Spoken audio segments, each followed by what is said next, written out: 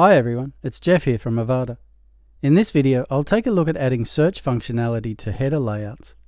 Don't forget to subscribe to our YouTube channel and click the bell icon to be notified of all new content. Okay, let's begin. I've imported a header layout from Avada Studio here, and in this video I'm going to update the header layout to include a search field. There are a couple of ways to add search functionality to a header layout. One is the search element. You can add this anywhere in your content, including a header layout. The other is the search item in the Avada Special Menu items, found in the actual menus.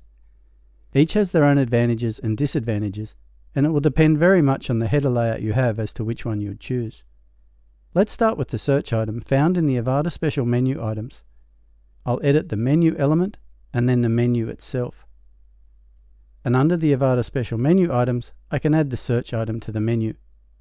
If I then edit the Avada menu options, I have a few options around the way the search item displays. If I leave it on inline, it will display next to the other menu items. I'll just save this and the menu and come back and refresh our header layout. Okay, here's the search field. It's not fitting at the moment due to the size of the columns. So here I could make the logo column 1 fifth and the menu column 4 fifths, and it now fits. If I move down to medium screens, with this header, the menu reduces to a mobile menu, and we can now find our search field at the bottom of the menu items. Alternatively, I might just use the history states to revert back to the original setup and save the header layout, and then go back to the menu. Now I will select drop down instead. Let's select a search icon, and under this I will choose to display only the icon. Otherwise it would just say search next to the icon. Okay, let's save that and the menu and come back to the header layout section and refresh again. Okay, we need to change the color of the icon in the menu element, which is on the main tab at the very bottom. I'll just set that to color 1. And once that's done, it looks good, and a drop-down search field appears when we click. On medium screens, however, when the menu reduces to a mobile menu, the search does not display in the mobile menu. Okay, let's try the other one. I'll just come back to the menu and this time I will choose overlay. Let's save that and save the menu and refresh our header. And now when we click, the search field is overlaid over the main menu. That looks cool. But what about on responsive views? Okay, so again the search field is found at the bottom of the mobile menu. So now let's look at what we might be able to do with the search element instead, or perhaps even a combination of both. With this header, there are already two items in each column, and there will be even less space available in responsive views. So to me, it would make the most sense to add the search element in its own container. I'll just add a container under this one, add some top and bottom padding, and give it a background color. I'll also remove the default bottom margin on the added column.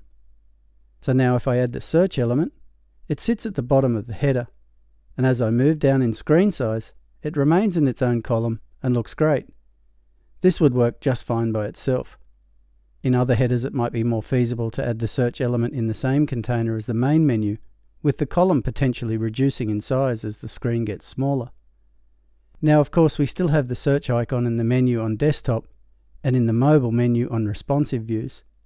We could of course just remove that and always have this container at the bottom of the header. Alternatively, we could turn visibility off on this container for large screens, or we could use rendering logic to achieve the same thing. And if we do that, the overlay search works on large screens, and when we come down to medium screens, the bottom container reappears and we have a direct search there. Now in this situation, we still have the search in the mobile menu, so there's a duplication there. You might think that's okay. If you wanted to remove it though, you could make a duplicate menu without the search item in it, and then duplicate the menu column and set the new menu to it, and with either rendering logic or visibility options, choose to display the original menu column just on desktop and display the alternate one just on medium and small screens. Let's preview that and have a look. On large screens we have the search icon at the end of the menu, which works as an overlay. And if we come down to medium screens, the search container with the element appears, and if we look at the drop down menu, we can see there is no search field at the bottom. So we know this is the alternate menu column that's loading here.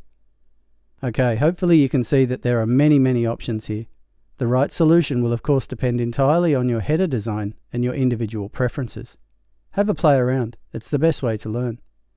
Okay, this concludes our video on adding search functionality to header layouts. Make sure you subscribe to our YouTube channel to keep up with all the latest videos. And if you have any questions or need assistance, please create a support ticket and our team will gladly assist you. As always, we want to thank you for choosing Avada.